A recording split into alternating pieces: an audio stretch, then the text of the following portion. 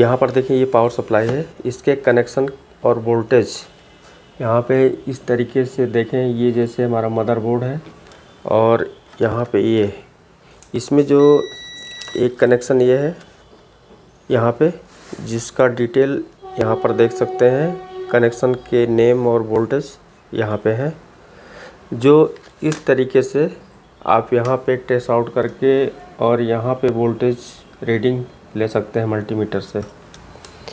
दूसरा, ये जो है, यहाँ पर दिखा दें आपको, ये हमारा कीबोर्ड यहाँ पे एक सेंसर लगे हुए हैं और यहाँ पे देखिए ये बटन यूज़ किया गया है, जैसे सैमसंग में होता है, ऐसे नीचे साइड में होता है एलजी में। और यहाँ पर टेस्ट पॉइंट दिए गए हैं, जो कि कुछ इस तरीके से है। और इसके कनेक्शन आप यहाँ पर दिखा दें, ये।